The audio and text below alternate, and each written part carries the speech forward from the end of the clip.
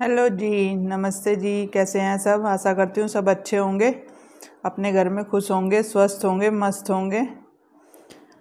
और आज मैं कर रही हूँ ऊपर के कमरे की सफ़ाई। अब मैं अपनी एक्सरसाइज वगैरह करके, नहा धो के, पूजा करके सीधा ऊपर ही आ गई हूँ।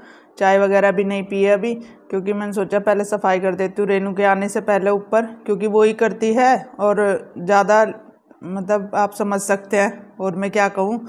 तो ऐसा ही है कि आज मैंने सोचा, आज मैं चलती हूँ ऊपर क्योंकि ना परसों में ऊपर आई थी अंदर कमरे में तो मैंने एक चूहियाँ देखी थी यहाँ पे। तो मुझे लगा कि कहीं ऐसा ना हो कि यहाँ सारे में कहीं कट वगैरह ही कर दे तो इसलिए मैंने चादरें भी, सारी झाड़ के बिछा दी है।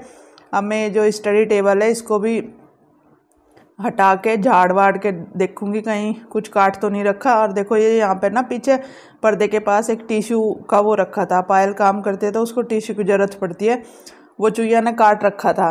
तो फिर मैंने ये सारी टेबल हटा के, झाड़ के दोबारा बिछाई है। देखो आप गंदगी देख सकते हैं। और रोज़ सफ़ाई होती है यहाँ पे। लेकिन मैंने आज सोचा कि आज मैं खुद करती हूँ सारी सफ़ाई। और एक फिर मौसम ऐसा है बरसात का तो उसमें क्या है कि हम ये अगर सामान हटा के एक बार चेक हटा कर सफ़ाई कर देंगे तो उससे क्या होगा? ये भी पता लग जाएगा कि चूहे ने कहीं काटा है और फिर दूसरा ये पता लग जाता है, बरसात के मौसम में कहीं सिलन वगैरह तो नहीं आ रही। कहीं ऐसा होता है कि सिलन में कोई चीज़ें ख़राब हो जाती हैं तो उन्हें थोड़ा हटा के रख देते हैं दीवार से। तो मैंने ये सारी टेबल भी हटा कर बैठ के उधर भी अच्छे से खुद ही झाड़ू लगा दिया है सारे में, जब वो आएगी कर लेगी। लेकिन फ़िलहाल तो मैं ही कर रही हूँ। और मेरे बाल भी अभी बहुत गिले थे। मैंने बाद में ध्यान दिया। मेरा सूट भी सारा बालों से गिल्ला हो गया है पीछे से। इग्नोर करना आप इस चीज़ को। और अभी मैं ना साथ साथ कपड़ा भी ले रही हूँ डस्टिंग का हाथ में, क्योंकि ना जब सफ़ाई करके रख रही हूँ तो डस्टिंग भी कर जा रही हूँ। और ये एक शीशा रखा है ऊपर। एक दिन निकाला था, किसी की बेटी की सगाई थी तो यहाँ पे इस रूम में तैयार हुए थे। ऊपर बड़ा शीशा तो है नहीं तो मैंने उन्हें छोटा दे दिया था ये।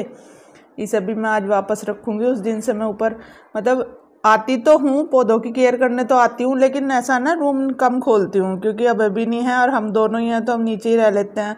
और ऊपर का ना इतना ज़्यादा गंदा भी नहीं होता है, लेकिन फिर भी धूल तो कहीं भी चली जाती है, आप भी समझ सकते हैं। तो आज मैंने फिर ये सारे कवर वगैरह हटा के, झाड़ के, सोफे भी अच्छे से पूछ दिए हैं, और फिर दोबारा से कवर वगैरह बिछा दूँगी इन्हें, साफ़ करके, अच्छे से डस्टिंग वगैरह करके और अपने सामने अच्छे से पोचा वगैरह लगवाऊँगी यहाँ पे। लेकिन डस्टिंग तो मैं खुद ही कर रही हूँ अच्छी सी, ताकि मुझे सब चीज़ क्लियर हो जाए कि कहाँ क्या है। और इस सोफ़े के पीछे भी मैंने हटा के अच्छे से साफ़ किया है। तो जैसे चूहा अंदर रह गया होगा, जैसे पोचा लगाती बार गेट खोलते हैं तो चूहा क्या है, अंदर घुस गया, फिर ताल गेट बंद कर दिया तो वो चूहा अंदर ही रह गया। तो इसीलिए वो मुझे दिखा परसों जब मैंने गेट खोला था। और देखो ये इसके पीछे चूहे ने गंदा भी कर रखा है, कूड़ा आप देख सकते हैं। वैसे तो चीज़ों के पीछे थोड़ा बहुत हो भी जाता है, ऐसी बात नहीं है, लेकिन फिर भी है कि भाई चार पाँच दिन में एक बार अगर सोफ़ा खिसका के अच्छे से झाड़ू लग जाए तो अच्छी क्लीनिंग हो जाती है। ये ऐसे ही थोड़ा थोड़ा कूड़ा सभी के पीछे से निकला है। पर चलो कोई नहीं, अपने हाथ से भी काम होना चाहिए कभी कभी ये मैंने झाड़ के, इसके नीचे झाड़ू वाड़ू लगा के अच्छे से इसको दोबारा से सेट कर दिया और ये गंदे नहीं हैं क्योंकि ऊपर कम ही आते हैं तो इसलिए गंदे तो कम ही हुए हैं। और अपने घर का काम सही बताऊँ तो खुद करने में जो आनंद है ना, किसी और से करवाने में है नहीं। लेकिन कई बार ऐसा होता है कि इमरजेंसी होती है, कहीं आना जाना भी पड़ जाता है तो इसलिए मेड भी रखनी पड़ती है। तो बस वही है। और अभी मैं इसकी दर वाले सोफ़े के नीचे भी अच्छे से साफ़ कर दूँगी। और ये आज तो मैंने इसकी कमरे की जम के सफ़ाई कर दिया बिल्कुल। अच्छे से। और मैं नहाने के बाद इस काम में लगी और फिर ऐसी हो गई दोबारा से। पसीने पसीने, नहाई नहाई सब बराबर।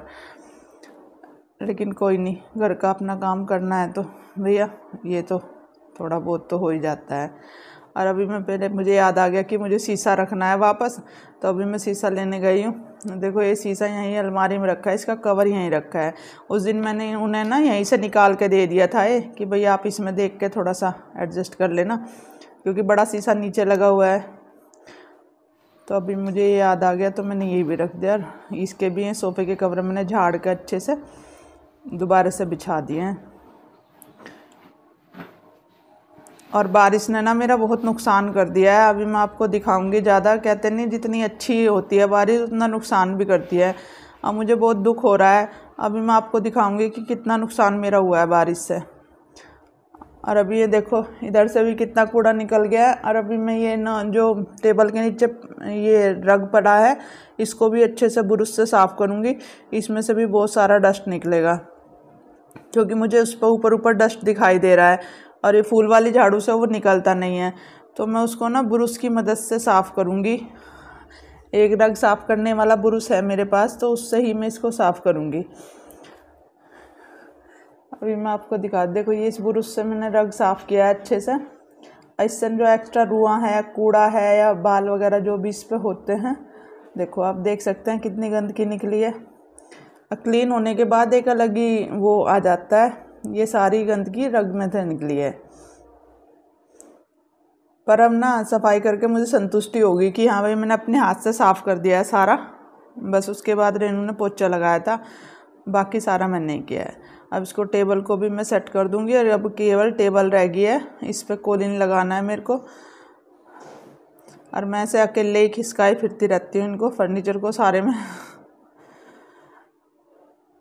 ये रूम सेट हो गया बिल्कुल। बस टेबल पे मैं कोलिन लगा दूँगी थोड़ा सा ये शीशा भी बिल्कुल साफ़ हो जाएगा।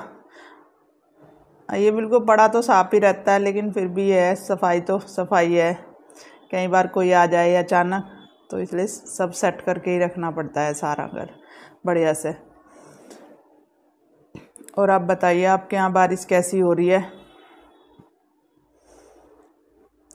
और आज बस और ज़्यादा वैसे तो कुछ मतलब डिश वगैरह तो कुछ बनाई नहीं थी, वही घर का नॉर्मल खाना पीना था। तो आज मैं ये काम कर रही थी, मैं चलो, इसके बहाने ही आप सबसे बातें भी हो जाएँगी। और आज मैं क्या कर रही हूँ, आज के ब्लॉग में यही दिखा देते हैं। देखो, कमरा बिल्कुल तैयार हो गया है। यहाँ से किताबें भी मैंने नीचे रख दी हैं पायल की, क्योंकि चुईयाँ कभी आ जाए, फिर किताब वगैरह को काट दे।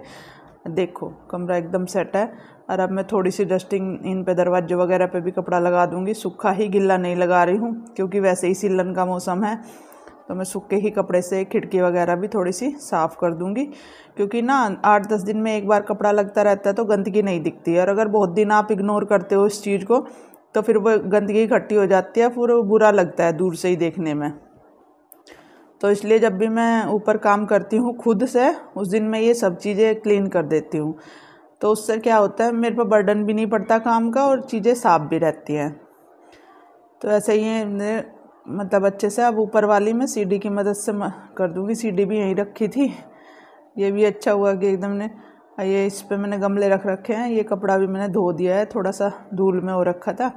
ये गमले वापस इसी पे रख के अब मैं इसे यहीं खिसका दूँगी। अभी नीचे पोचा नहीं लगा है, यहाँ पे। अभी रेनू पोचा लगाएगी।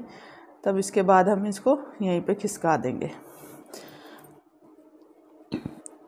जो भी रह गया था, ये उसको साफ़ कर दूँगी। इधर ट्रेडमिल भी मुझे काफ़ी गंदा लग रहा था तो मैंने सोचा, चलो ट्रेडमिल पे भी कपड़ा लगाते रहते हैं। और ये कपड़े धुले रखे थे। जब मैं ऊपर आई थी, तभी लेके आई थी, फैलाए नहीं थे। और इन अभी मैं अब रेलिंग पे डाल रही हूँ अंदर जिन्ने में क्योंकि ना बार बार बूंद टपक रही हैं तो बार बार उठाने से बेहतर है। मशीन में सुखा दिए हैं। इन्हें मैं रेलिंग पे डाल दूँगी और पूरे दिन में सूख जाएँगे, फिर अपना प्रेस हो जाएगी बाद में। डायरेक्ट प्रेस तो करते नहीं है मशीन में सुखाने के बाद, क्योंकि फिर बिजली भी ज़्यादा फूकती है और स्मेल सी भी आती है कपड़ों में। तो इसलिए थोड़ा सा हवा तो निकलनी चाहिए।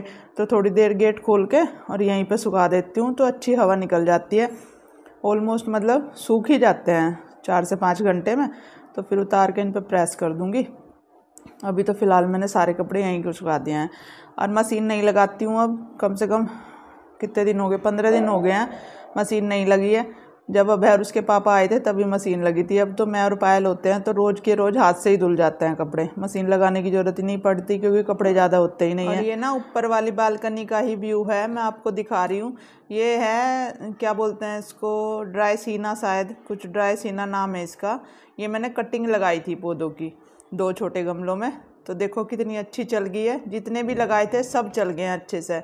एक ये पौधा है, तुलसी मैया है, ऊपर वाली बालकनी में भी हैं और नीचे भी हैं दो पौधे और यहाँ भी और मेरे हर गमले में तुलसी मैया उगी हुई हैं। और देखो ये है स्नेक प्लांट की छोटी वाली वैरायटी और ये सिंगोनियम की है। क्या बोलते हैं इसको? मैंने ये एक छोटी कटिंग लगाई थी, इसके साइड से एक कटिंग और निकली आई है। देखो ये चल गया बढ़िया से कटिंग। इस मौसम में बहुत अच्छी चलती है। ये एक पौधा है, एलिफेंटा है, क्या बोलते हैं इसको? और देखो करी लीव कितना अच्छा हो रखा है। करी पत्ता जो होता है, बिल्कुल अच्छे से चल रहा है, बहुत अच्छा। सांबर वगैरह में डालने के लिए बहुत काम होता है। एक पौधा एक गुडल का लगा हुआ है, ऊपर वाली बालकनी में ये हैज़ है और ये इधर भी मैंने लगा रखे हैं, स्नेक प्लांट। ये मैंने पत्तियों से ग्रो करे हैं। जैसे पत्तियाँ निकाल लेती हूँ मैं पौधों के नीचे से बड़ी बड़ी सी जो हो जाती हैं, उन्हें ऐसे गाड़ देती हूँ। देखो, ये मैंने पत्ती गाड़ रखी है, इसी पत्ती से निकले हैं ये वाला पौधा जो इसके साइड में है। और ये भी, और ये ये मैंने इसमें तीन पत्तियाँ लगाई थी।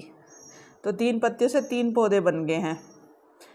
और वो पत्तियाँ तो इन्हें जन्म दे के फिर ख़त्म हो जाती है, लेकिन अच्छे से चलती रहते हैं। ये पौधे बहुत अच्छे ग्रो हो जाते हैं पत्तियों से ही। और ये देखो, ये नीचे हिल रही है ना पत्ती, ऐसी पत्ती आप निकालो और इसे मट्टी में दबा दो तो ये बहुत अच्छे से ग्रो हो जाते हैं। ये मैंने एक पौधा लिया था, एक से अब मेरे पास कई सारे हो रखे हैं ये। और जो नुकसान हुआ है ना, यहाँ पे एक पौधा रखा था स्नेक प्लांट का, बड़े वाले स्नेक प्लांट का, और वो नीचे गिर गया यहाँ से। और उसने कितना नुकसान किया, अभी मैं नीचे जाके आपको दिखाऊँगी। एक गमला ही रखा है, और ये अपराजिता की बेल है, ये ऊपर तक गई हुई है। देखो फूल, देखो कितना सुंदर खिला है इस पर अपराजिता पे। बड़े सुंदर फूल लगते हैं अपराजिता के। ये पौधा है जो ऊपर से गिरा, और ये देखो गमला नहीं टूटा। ये यहाँ से ये गिरा है, देखो। आठ से दस फुट की दूरी है इसकी, इतनी ऊंचाई दस फुट तो है ही। लेकिन ये टूटा क्यों नहीं मैं आपको बताती हूँ। ये मेरा पौधा है क्रिसमस ट्री ये बहुत ऊँचा हो रखा था। ये इसके ऊपर गिरा, इसने ये पौधा तोड़ दिया। इसकी जो लेंथ थी वो तोड़ दी है, और दो पत्तियाँ, ये चारों तरफ़ जो छः पत्ती थी, इसमें से दो पत्तियाँ तोड़ दी हैं इसमें से। देखो कितना नुकसान हुआ मेरा जी बड़ा दुखी है इसको देख के। और जब मैंने ये जब टूटा हुआ देखा, नीचे पड़ा हुआ, जब मेरे याद नहीं रही वीडियो बनानी और जब मुझे बाद में याद आया कि मैं वीडियो बना के आप लोगों को दिखाती, इसकी भी एक पत्ती टूटी है बहुत बड़ी। एक गमला यहाँ पे रखा था, चंपा का। जैसा ये वाला है ना, आपने देखा भी होगा पहली वीडियो में, बिल्कुल सेम इसमें दो लेयर हैं, वो सिंगल था, लेकिन उसमें तीन डंडी लिखड़ी हुई थी। तो वो हवा के जोक से इस पे गिरा, लेकिन वो गमला भी टूट गया। ये पौधा है वो। इसकी एक टहनी टूट गई है देखो, एक तीन टहनी थी इसमें, एक येरी एक येरी और एक इसकी ये टूट गई है। गमला भी टूट गया, गमला तो मैंने चेंज कर दिया है ये। ये देखो, अभी मिट्टी भी सूखी है, मैंने दूसरी मिट्टी में लगाया है इसको, क्योंकि ख़राब हो जाता वरना पौधा, अब टूटा हुआ तो हो ही जाएगा, चलो जैसे भी और जो टूटे हैं ना, उनसे मैंने क्या किया है, देखो इस तरह, ये जो इसकी ये लीव टूटी थी एक, ब्रांच मतलब तो ये मैंने इसमें लगा दिया है। अगर होएगी तो हो जाएगी, क्योंकि रेनी सीज़न है हो सकता है, इसमें रूट निकल भी आए तो ये इसमें हो जाएगी। और जो उसकी पत्ती टूटी है क्रिसमस ट्री की, दोनों पत्ती मैंने इसमें लगा दी हैं। देखते हैं इनकी इनकी जड़ में मतलब जड़ निकलती है या नहीं। अगर चलेंगी तो चल जाएँगी, ये भी मैंने इस गमले में गाड़ दिए हैं छोटे में। और मुझे बड़ा दुख हो रहा है, देखो ये इसमें से नई लीव निकल रही थी छः की छः ये पूरा उसका जो मतलब मेन स्टेम था ना, वो ही टूट गया इसका पूरा। बड़ा दुख हो रहा है। बारिश जितना, वो है ना, जितना सुख दे रही है, मुझे तो उतना ही दुख भी दे दिया है। आप इस बार ये स्नैक प्लांट की एक पत्ती टूटी थी, ये मैंने इसमें गाड़ दिया है, इसमें से तो लीव निक मतलब पौधा निकल आएगा दूसरा। पर वो जो मेरा बड़ा पौधा था ना क्रिसमस ट्री वो ख़राब हो गया है। मुझे बड़ा दुख हो रहा है उसके लिए। पर क्या कर सकते हैं? प्रकृति है कहीं कहीं बाढ़ भी आ रखी है, वहाँ तो सब कुछ ही तबाह हो जाता है लोगों का। ये तो मैंने पौधे जो टूटे थे दोबारा लगा दिए हैं ग्रो होंगे नहीं होंगे तो किस्मत की बात है, पर जिनका सब कुछ चला जाता है, वो भी जीते हैं। तो आज की वीडियो में बस इतना ही। मिलते हैं फिर नई वीडियो के साथ। अगर वीडियो पसंद आई है तो लाइक कर दें, चैनल को सब्सक्राइब कर दें। Bye bye